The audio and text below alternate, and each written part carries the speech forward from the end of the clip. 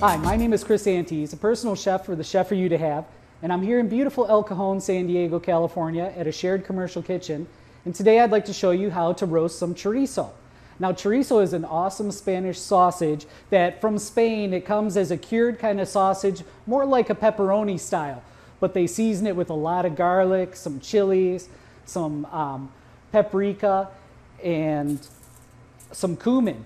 And then in Mexico or around the Caribbean as well, they use it for, they make it with a lot of pork, and it's generally a ground sausage. So that's what I'm going to make for you today. Although today, instead of pork, this is a beef sausage. Now again, it's got some onion in there, garlic, as you can see from the, the color. It's got some paprika.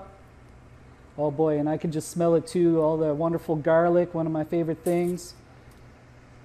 Just coming off it. So I like to just leave, you know, you get it in a tube like this, and I leave it whole. I just peel off the, the casing because that's not too edible.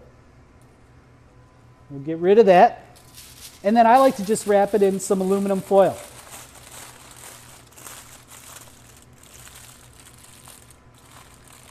And being that it's got um, a lot of oil and fat in there already, we don't need to add any more.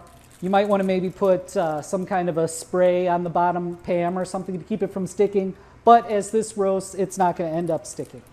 So I'll toss this in the oven where, through the magic of television, I've got some of that sausage right here.